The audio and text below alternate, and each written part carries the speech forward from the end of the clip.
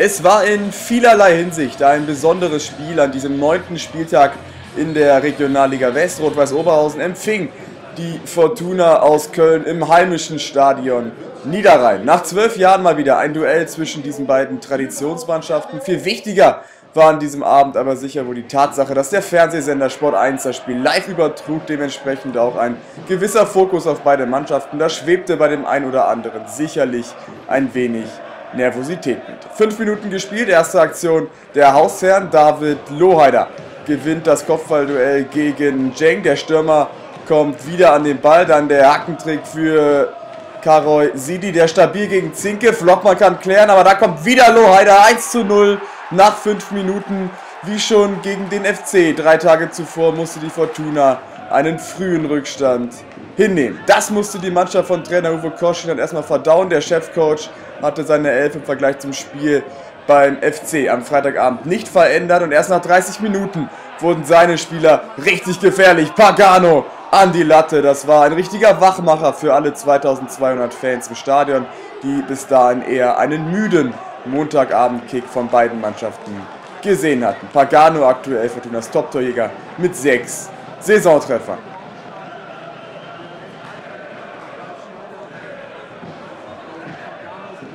Das war aber der Auftakt zu einer guten Phase der Fortuna, die jetzt zielstrebiger und mutiger spielte. Zinke mit der Möglichkeit, der aufgerückte Linksverteidiger hier mit einem guten Versuch.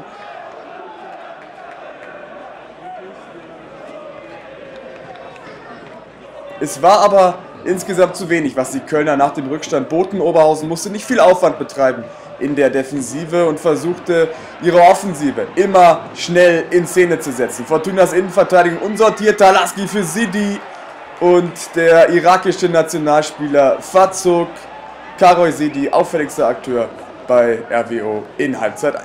Drei Minuten später wieder ein einfacher Ballverlust bei den Kölnern und Oberhausen schaltete schnell um. Ken Azeda mit dem Pass für den schnellen Sidi, der wieder auf und davon, aber Poggenburg macht sich groß, baut sich auf und verhindert so das frühzeitige 0 zu 2.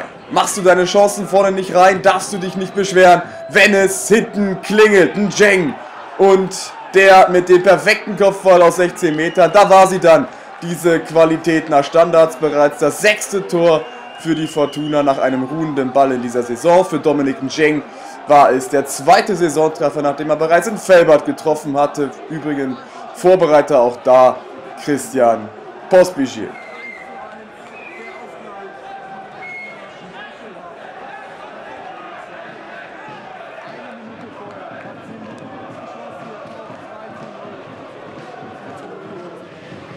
Standards waren auch zunächst in Halbzeit 2 das Mittel, was die Fortuna brauchte, um in Tornähe zu kommen. Wieder ein Jeng beteiligt, der aber anschließend stark gelb-rot gefährdet runter musste. Für ihn kam Erik Schaff. Wieder ein runder Ball, Michael Lejean. Die RWO-Abwehr alles andere als souverän, schaffte es aber irgendwie, den Ball vom Tor von Schlussmann Nettekofen fernzuhalten. Die Oberhausener Abwehr ja aktuell die Schießbude der Liga mit 19 Gegentoren nach 9 Partien. Das Spielniveau war schwach über die gesamten 90 Minuten. Vor allem die Fortuna ließ die Spritzigkeit der vergangenen Siege gegen den 1. FC Köln und den MSV Duisburg vermissen. Selten wurde schnell und direkt kombiniert. Man profitierte mehr von den wenigen Fehlern der RWO-Defensive. Montabel kann sich hier mal durchsetzen gegen die beiden Innenverteidiger. Pagano, aber auch die Zielstrebigkeit scheint dem Italiener erstmal abhanden gekommen zu sein.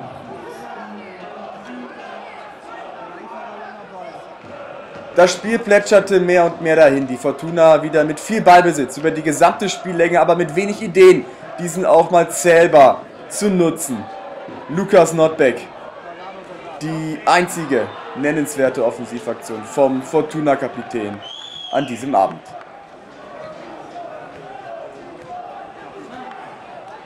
Und dann kommt es, wie es kommen musste. Als sich alle auf ein Unentschieden eingestellt hatten, kam nochmal RBO. Poggenburg kann diesen Ball nicht festhalten. Novak sagt Danke. Das 2 zu 1 für Oberhausen in der 88. Minute. Dümmer hätte es für die Fortuna nicht laufen können. Ein 1 zu 1 wäre am Ende leistungsgerecht gewesen. So freut sich Oberhausen über diesen unerwarteten Dreier. Die Fortuna kassiert ihre zweite Saisonniederlage und ist gefordert, am Samstag gegen die U23 von Fortuna Düsseldorf wieder zu punkten.